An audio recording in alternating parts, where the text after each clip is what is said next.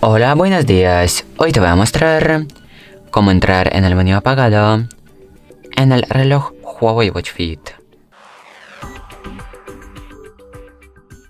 Bueno, para eso tenemos que sujetar el botón de encendido como mínimo 5 o 6 segundos. Y cuando se haya aparecido estas opciones, eso, eso significa que vosotros habéis entrado en el menú apagado. Desde menú apagado podemos reiniciar nuestro reloj o apagarlo. Y bueno, muchas gracias por este video. Dejar un comentario. Hasta luego.